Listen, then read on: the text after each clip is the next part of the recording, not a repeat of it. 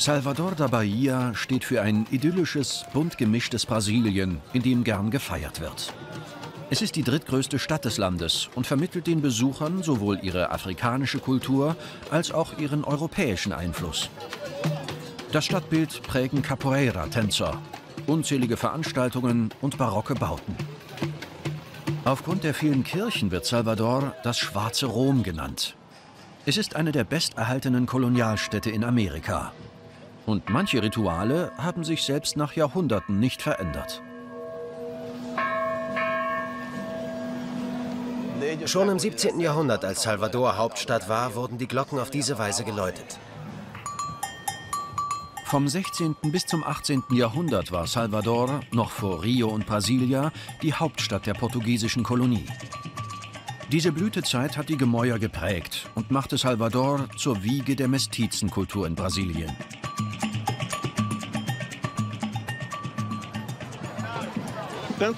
Unsere Kultur ist reich, sowohl in der Bildung als auch auf der Straße. Die Feierlaune, die Trommeln, diese Freude gehört zu uns. Sie ist das Erbe unserer großen Vergangenheit und lebt im Herzen aller Baianos. Die Geschichte von Salvador als Hauptstadt beginnt an der Küste vor der Barra-Festung. Als eine portugiesische Flotte an Allerheiligen im Jahr 1501 diesen Küstenabschnitt kartografieren soll, entdeckt sie hier eine gut geschützte Bucht.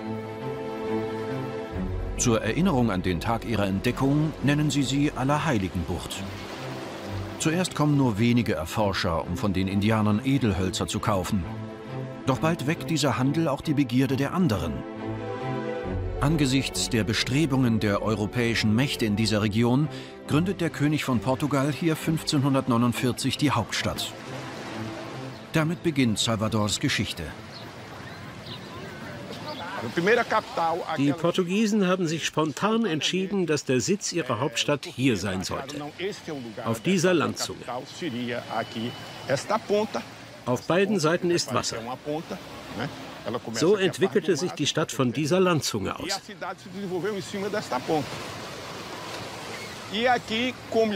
Salvador liegt mittig an der brasilianischen Küste. Oben ist viel Land und unten auch.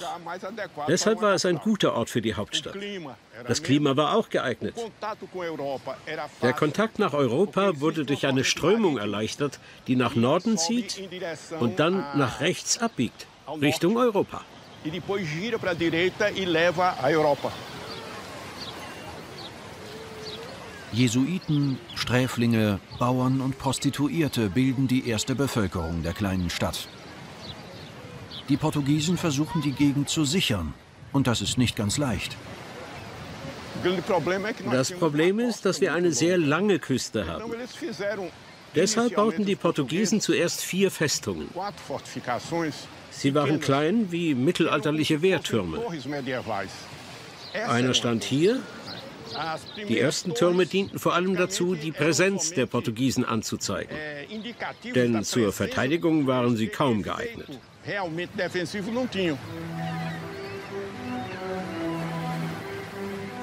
Salvador profitiert von einem riesigen Territorium und beginnt alsbald zu florieren. Denn rund um die Bucht erstreckt sich das Reconcavu. Es ist eine fruchtbare Region mit vielen Wasserläufen, die sich für die Landwirtschaft eignet. Auf den Holzhandel folgt der Anbau von Zuckerrohr. In Cachoeira, am tiefsten Punkt der Allerheiligenbucht, wird er heute noch betrieben. Damals kamen über anderthalb Millionen Sklaven nach Salvador, um auf den Plantagen im Umland zu arbeiten. Das Dorf Tabuleiro da Vitoria wurde von einer Gruppe ehemaliger Sklaven gegründet.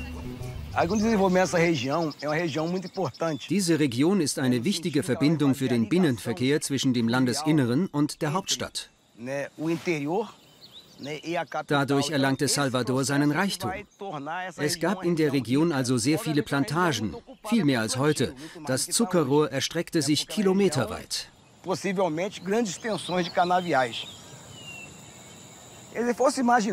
Im 16. und 17. Jahrhundert waren unzählige Menschen auf den Zuckerrohrplantagen beschäftigt. Sie schnitten das Rohr, pressten es, stellten Zucker her und wurden ständig überwacht. Die Aufpasser hatten Peitschen und bestraften die Sklaven, wenn diese fliehen wollten oder nicht schnell genug arbeiteten.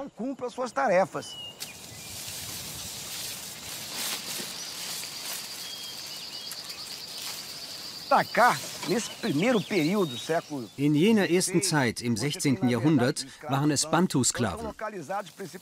Sie kamen aus dem heutigen Angola und Mosambik, den damaligen portugiesischen Kolonien. Sie behielten ihren Glauben, der Candomblé genannt wird. Im Recôncavo, in Cachoeira, gibt es die größte Vielfalt afro-brasilianischer Religionen im ganzen Land.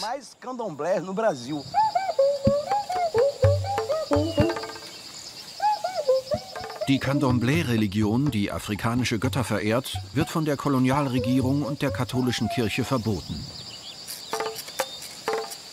Um ihren Kult weiterhin ausüben zu können, weisen die Sklaven jeder ihrer Gottheiten einen katholischen Heiligen zu. Heute gibt es im bayanischen Umland tausende Heiligtümer des Candomblé.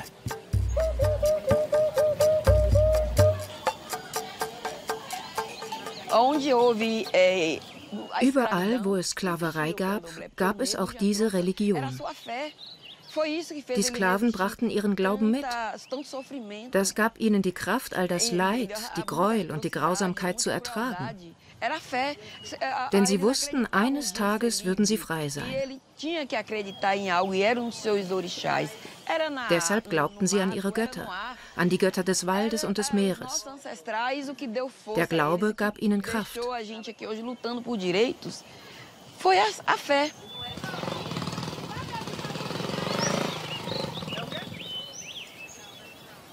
Die Religion hat ihre eigenen Riten. Die Götter werden mit Gesang und Trommelrhythmen angerufen. Dann fahren sie in die leibliche Hülle der Gläubigen in Trance.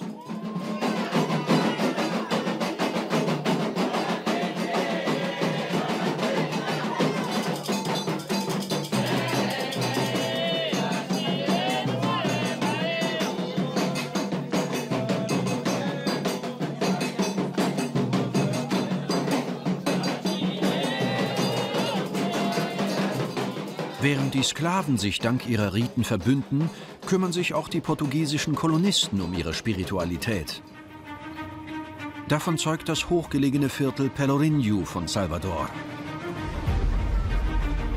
Die vielen monumentalen Barockkirchen zeigen, wie wichtig die religiösen Orden waren in dieser Kolonie von Männern, die freiwillig oder unfreiwillig alles zurückließen, um in dieses ferne Land zu kommen.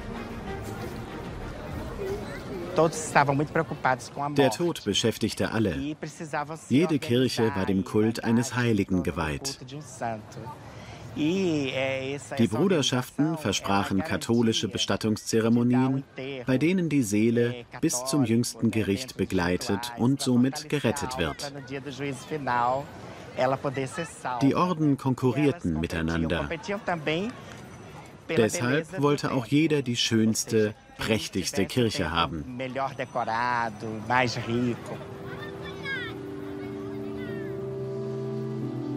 Im 17. und 18. Jahrhundert scheuen Jesuiten, Dominikaner und Franziskaner keine Kosten und Mühen, um die allerschönsten Kultstätten zu errichten. So entstehen in der Stadt einige der reich verziertesten Barockkirchen der Welt.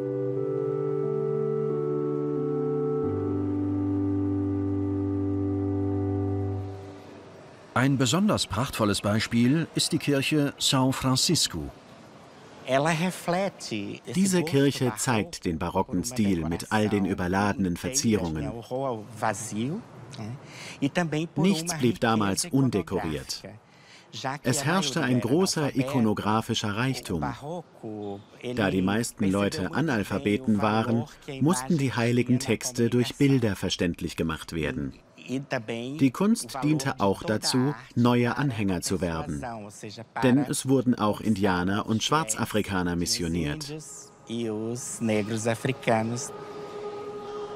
Ob in der Religion oder im Alltag, in Salvador kann es gar nicht zu schön, zu groß und zu überladen sein. Und genau das macht auch das gewisse Etwas dieses Volkes aus.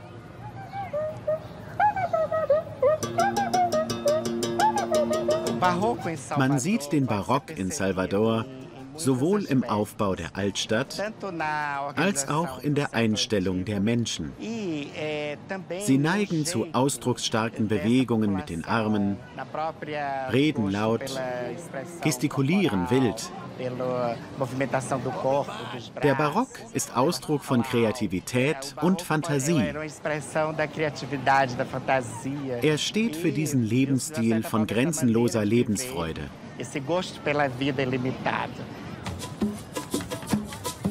Die Konkurrenz des Zuckers von den Antillen und die Entdeckung von Gold im südbrasilianischen Staat Minas Gerais ziehen Salvadors Fall nach sich. 1763 verliert die Stadt ihren Status als Hauptstadt. Zwei Jahrhunderte lang werden ihre architektonischen Schätze vernachlässigt, sodass sie nach und nach verfallen. Doch 1985 wird das Viertel Pelourinho zum UNESCO-Welterbe ernannt und von der Regierung restauriert. Die Gebäude haben zu ihrer vergangenen Pracht zurückgefunden, doch die Lebendigkeit des Viertels hat gelitten. In Teilen der Altstadt, die nicht vom Restaurierungsprogramm profitiert haben, führen die Bewohner die Geschichte Salvadors auf ihre Weise fort. In Santo Antonio setzen Künstlergemeinschaften die Gebäude wieder instand, um so die Seele ihres Viertels bewahren zu können.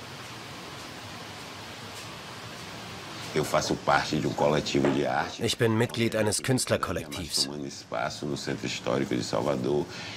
Wir erwerben die Gebäude der Altstadt und bauen sie zu Wohnhäusern um, so wie dieses, das lange leer stand. Das Dach war eingestürzt. Das hat einen Dominoeffekt auf die anderen Häuser, da sie sich gegenseitig stützen. Wir verlieren also nach und nach immer mehr von diesem Erbe. Seit acht Jahren sammle ich Trümmer, die die Bewohner mir bringen. Denn sie wissen nicht, was sie damit anfangen sollen. Zum Beispiel diese Treppe oder diese Steine und Fliesen. Wir basteln diese kleinen Stücke der Altstadt zusammen, machen daraus eine Collage.